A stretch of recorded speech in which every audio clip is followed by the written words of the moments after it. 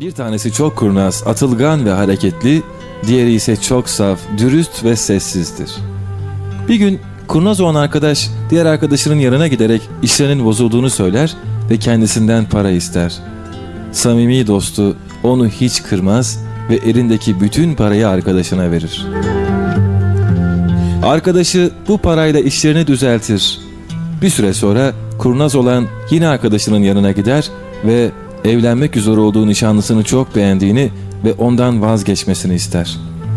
Arkadaşı çok şaşırır. Ne diyeceğini bilemez.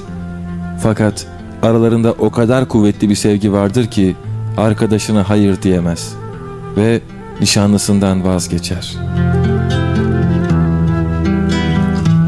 Zaman içinde saf olanın işleri bozulur ve birden arkadaşı aklına gelir. Ben ona sıkıştığında iyilik yapmıştım diyerek arkadaşının iş yerine gider ve kendisine çalışması için iş vermesini ister. Ama arkadaşı ona iş vermez. Bizimki pişmanlık ve üzüntü içinde geri döner. Yine de arkadaşına kızamaz. Bir gün sokakta dolaşırken yanına hasta ve yaşlı bir adam yaklaşır. Fakir olduğu için ilaç alamadığını söyler yaşlı adam. Bizimki adamcağıza acır, istediği ilaçları alır, evine götürüp dinlendirir, oturup sohbet ederler bir süre. Ve kısa bir süre sonra yaşlı adamın öldüğünü duyar. Yaşlı adam çok zengindir ve bütün mirasını bizim Saf'a bırakmıştır. Bizim Saf da biraz da sevdiği dostun olan kırgınlığıyla dostunun iş yerinin karşısında bir ev alır ve oraya yerleşir. Bir gün evinin kapısını dilenci bir kadın çalar. Yaşlı kadın çok aç olduğunu, kendisine yemek vermesini ister. Bizim saf hiç düşünmeden kadını içeri alır, karnını doyurur. Kimsesi olmadığını öğrendiği kadına kendisinin de yalnız olduğunu söyler ve bu evde birlikte yaşayalım. Sen evin işlerini ve yemeklerini yaparsın der. Yaşlı kadın hiç düşünmeden kabul eder bu teklifi.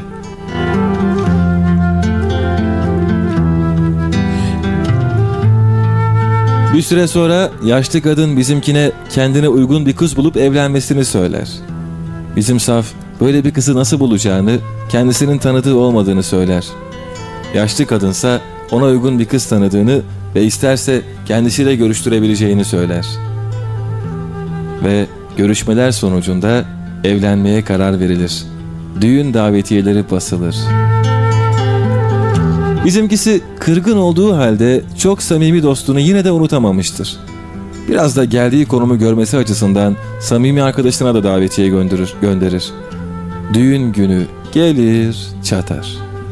Saf adam düğün salonunda bir şeyler söylemek isteğiyle mikrofonu alır ve başlar yaşadıklarını anlatmaya.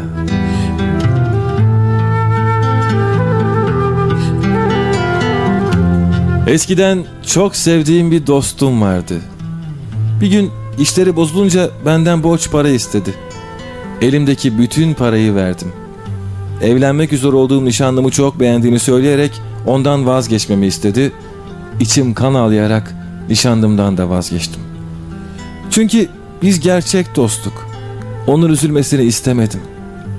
Ve işlerim bozulduğunda onun fabrikasına gidip çalışmak için kendisinden iş istedim.'' Ama o bana iş vermedi. Çok üzüldüm. Yine de arkadaşıma kızmıyorum. Çünkü biz gerçek dostluk. Bu konuşma üzerine kurnaz olan arkadaşı daha fazla dayanamaz ve mikrofonu eline alır. O da başlar konuşmaya. Benim de bir zamanlar çok sevdiğim bir dostum vardı. İşlerim bozulduğunda kendisinden para istedim. Bütün parasını bana verdi. Sonra ondan nişanlısını istedim. Üzülerek nişanlısından da vazgeçti.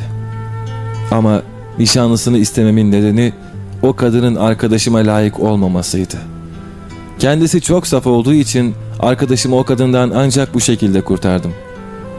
İşleri bozulduğunda gelip benden iş istedi. En iyi arkadaşımı kendi emrimde çalıştıramazdım. O yüzden iş vermedim. Günün birinde karşılaştığı yaşlı adamsa benim babamdı. Babam ölmek üzereydi. Onu arkadaşımın yanına ben gönderdim ve mirasını ona ben bıraktırdım. Evine gelen direnci kadınsa annemdi.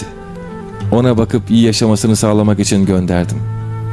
Ve şu anda evlenmekte olduğu kişi de benim kız kardeşim. Onu arkadaşımla evlenmesine ben ikna ettim.